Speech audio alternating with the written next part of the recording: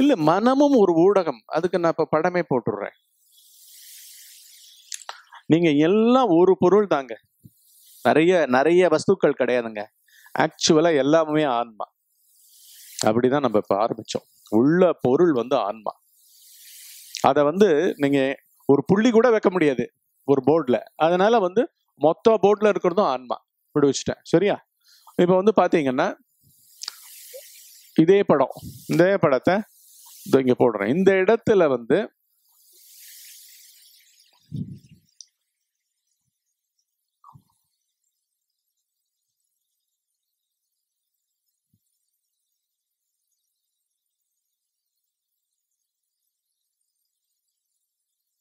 அகந்தை நான் பாவம் மூலமா நான் அகந்தைனால என்ன அர்த்தம்?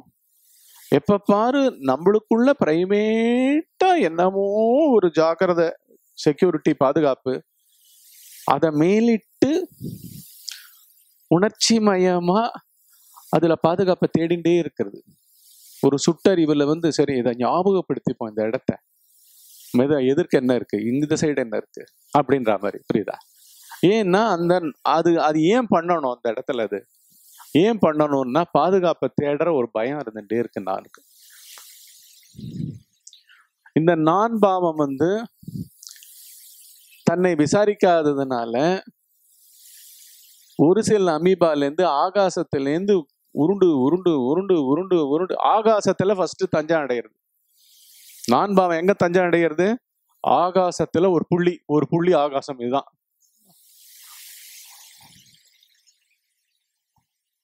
ஆகாய புள்ளி.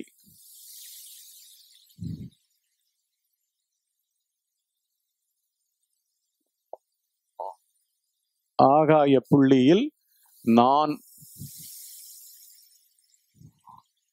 அணுவாக தஞ்சமடைதல். இதுதான் ஃபர்ஸ்ட் அது மேட்டரா மாற இடம் போருமா ஆனா இது எல்லாமுமே வந்து ஆன்ம பொருள்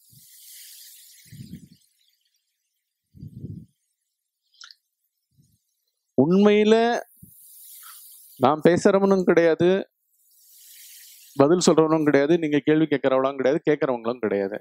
ஆனா இப்படி இருக்க வைக்கிறது பேர் நான் பாவம் உங்ககிட்ட சந்தேகமயமா இருக்கிறதும் எங்ககிட்ட தெளிவுமயமா இருக்கிறதும் ரெண்டுமே நான் பாவம் ஏன்னா நான் வந்து மூலமா பிரபஞ்சமே எதுவா ஓயாம இருந்துட்டு இருக்கு ஒவ்வொரு க்ஷணத்திலையும் ஒவ்வொரு இடத்துலையும். பொருட்கள்லையும் சரி ஜட பொருட்கள்லையும் சரி உயிர் பொருட்கள்லையும் சரி. எதுவா இருந்துட்டு இருக்குன்னு தொடர்ந்து வந்து அந்த பொருள் உள்ள பொருள் எதுவோ அதை விட்டு நகராம இருக்கிறதுனால எனக்கு எப்பவுமே தெளிவு. நீங்க எப்பவுமே கேட்கிறவாளாகவும் தொடரவாளாவும் அனுபவிக்கிறவாளாவும் பார்க்கறவாளாவும் பார்க்காதவாளாவும் எப்படி இருந்தாலும் யாரோ ஒருவராக தொடர்ந்து நீங்க இருக்கிற ஸ்தலம் பேர் புத்தி. ஆனா அம்மயமா இருக்க வைப்பது வந்து நான் பாவம் ஏன்னா அது அணு அணுவிலேருந்து ஆரம்பிக்கிறது. இந்த ஆகாசம் அணுக்களால் கட்டப்பட்டது. சரியா? இது வெறுமை இல்லை. ஏன் அணு உற்பத்தி ஆகணும்னு பார்த்தீங்கன்னா அந்த ஆன்ம பொருள் வந்து அதனோட சந்நிதியில எது அதாவது அந்நியமா ஒன்றும் இல்லைன்னா கூட அதனுடைய பவர் அப்படி இருக்கு. இப்ப நீங்க பாத்தீங்கன்னா இந்த ரூம்ல வந்து நிறைய லைட் இருக்கு. ஆனா இந்த ஒளிக்கற்ற என்ன பண்றது? இந்த லைட் எல்லாம் வந்து அப்படியே டிஃப்யூஸ்டா மொத்தமா பரவுறது. ஆனா இது என்ன பண்றது? இந்த ப்ரொஜெக்டர்னுடைய லைட் என்ன பண்ணுது? ஸ்ட்ரெயிட்டா அங்க அடிக்கிறது. கரெக்டா இப்படி தனியா இது ஒரு ப்ரொஜெக்ஷனுக்கு வந்திருக்குல்ல அந்த மாதிரி தனியா ப்ரொஜெக்ஷனுக்கு வந்தது நான். புரியுதா?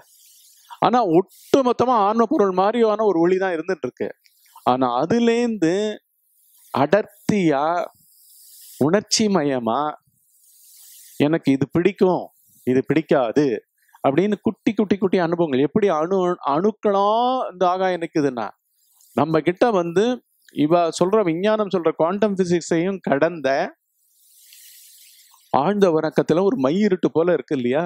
அந்த மாதிரி அந்த மை இருட்டுல வந்து இந்த நான் என்னுடைய அனுபவங்கள் அத்தனையும் கண் யாராலையும் இந்த பிரபஞ்சத்துல கண்டுபிடிக்க முடியாத முடியவே முடியாதபடி பதிஞ்சு கிடக்கும் பிரிஞ்சதெல்லாம் அனுபவிச்சதெல்லாம்.